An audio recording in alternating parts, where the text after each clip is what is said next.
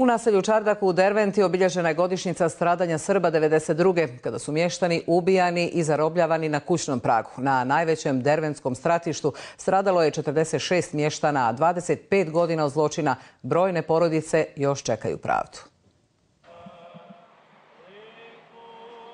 Pravdu čeka i porodica Blagoja Đuraša. Njega je ubila Azra Bašić iz 111. brigade Hrvatske vojske, o čemu ovih dana pred pravosuđem svjedoče oni koji su preživjeli logore za Srbe u Derventi. Nadam se da će to i privesti pravdu jako brzo i da će kazne biti u skladu sa zločinom koji je počinjen. Stradanje Srba sa Čardaka dogodilo se na Mali Vaskrs 92. Ubijani su i zarobljavani na kućnom pragu, među njima i supružnici Gunjević. Zarobljena sam, muž mi je bio zarobljen, poginuo je u zarobljeništvu.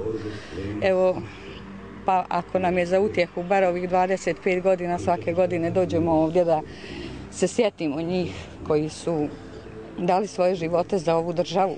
Za Srbe ubijene u Derventi do sada je sa kaznama od dvije do sedam godina osuđeno tek šestoro zločinaca. Na pravdu čekaju još brojne porodice. Pobijene čitave porodice, porodica Lazarević, otac, majka, sin, porodica Živković, porodica Zorić, a još ni dan danas niko nije osumničen za to. Zato smo veoma tužni, razočaran. Na mjestu gdje je bila masovna grobnica ubijenih Srba, podignut je spomen kompleks i spomen crkva u znak sjećanja na poginule sugrađane. Mi smo upravo ovim pokazali da smo ne samo žrtve, nego i pobjednici, jer podižemo hramove u slavu njihovu, u slavu Božiju. Na 25. godišnicu stradanja Srba iz naselja Čardak, rodbina, prijatelji i brojne delegacije položili su vijence i cvijeće.